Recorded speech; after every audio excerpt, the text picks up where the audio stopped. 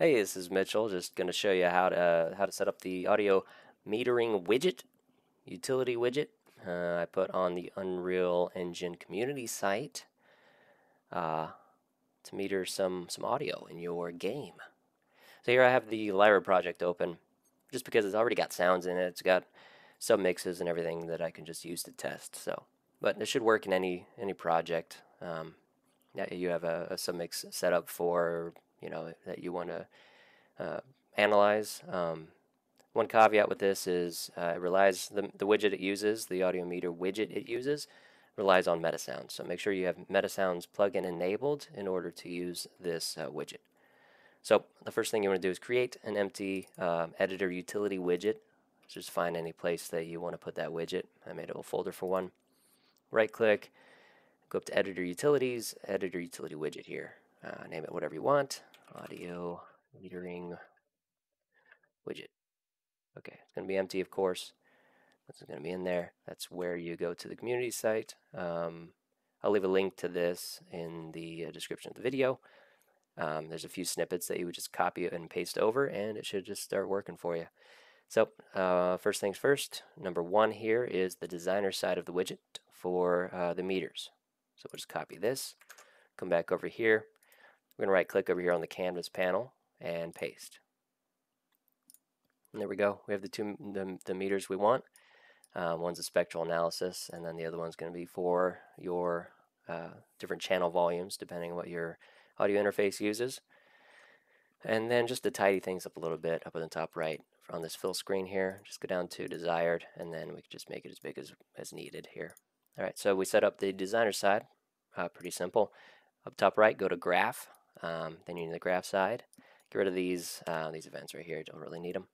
And then come back over to the snippets and go to number two and number three, which are a couple functions that the, um, the blueprint will use. So here's one, get current world. We'll just copy that, come back over here, and in the functions section, uh, paste the function.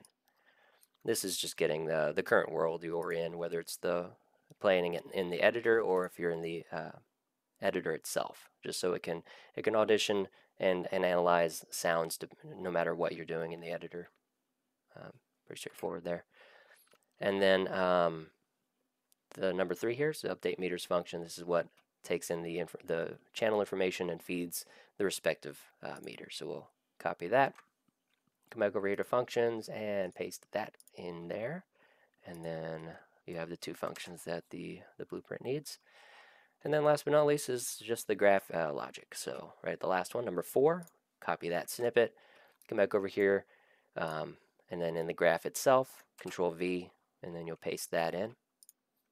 Uh, just one more thing here, uh, there's just a couple of variables that it uses aren't that aren't created. So for say like the current world here, we can just right click it and create variable. Same with this submix variable here. And we'll create a variable for that submix. And that's it. That's the widget. Uh, widget's ready to go. Um, in order to uh, start using the widget, just right click the asset in the content browser, run editor utility widget like that, uh, and then it'll pop up here. Um, so you can dock this wherever you want in, in the editor um, for ease. Um, and the only thing you have to do now is select which submix you want to analyze. This one's got a few, and I'll just select the, the main submix here. And then we can test it. Just play in the editor and see what happens.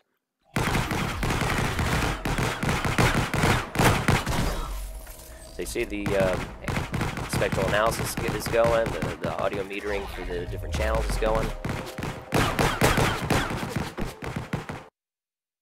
And uh, it's working as intended. And then not only uh, the uh, playing an editor, but if you're navigating the editor itself for you know auditioning audio assets uh, like a Metasound, um, we can open up the music system here hit play, and now we're analyzing uh, the sound playing through the editor. So you get your, your spectral analysis and the channel information for the asset that you're, you're auditioning. And that's uh, pretty much it. Um, like I said, I'll leave the link to the uh, that the snippet page there uh, in the the comment or in, in the description of the video. And um, yeah, hopefully this is of some use to you and uh, hope you enjoy it. Thanks.